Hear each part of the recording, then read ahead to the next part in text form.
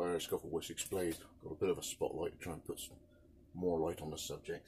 Um, this is my Heath Robinson uh, degassing uh, setup for resin.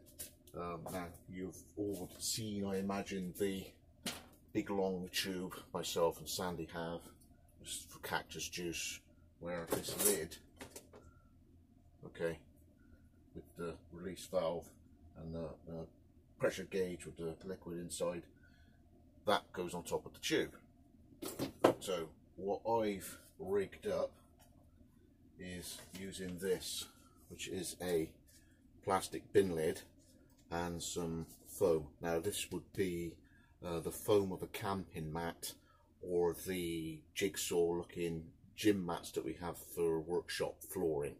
Uh, so that cut neatly inside the, uh, the little base of the lid as it goes in like that, uh, which leaves the flat surface for the thing to mate on using that surface, not the rubber seal, because that rubber seal fits on the top of the ring. But literally that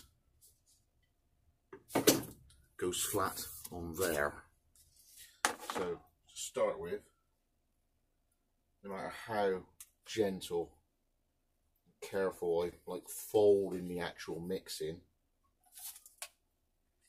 there's, there's still a rank load of bubbles in there. Okay, so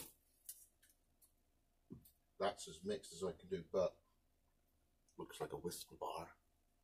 So I'm going to go like that and like that.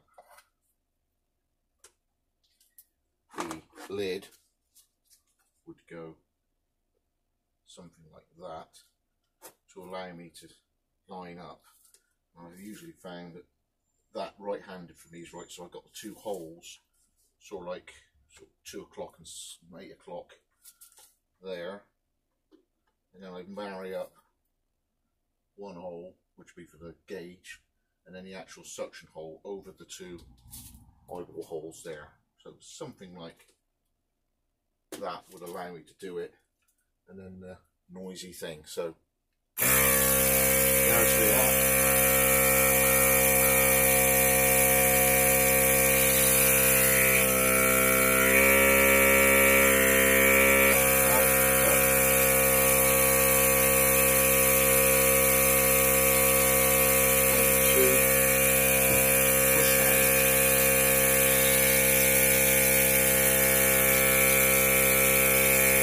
watching.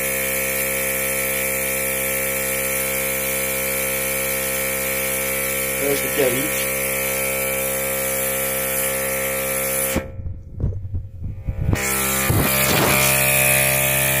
There's the gauge.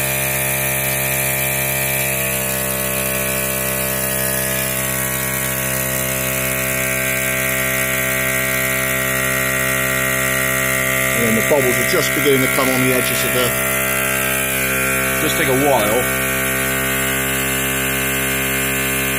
I'm trusting the uh, strength of the plastic jug boom so I'm now out there but that's about as much oomph as I get in my resin tube up there anyway. So I hope that helps. So that is now slowly, gradually degassing resin. I'll give that about 10-15 minutes, any more than that it'll be starting to go off. Right, just got my six blades out, hope that helps you. It's a lid. There's some foam underneath. Cool, isn't it?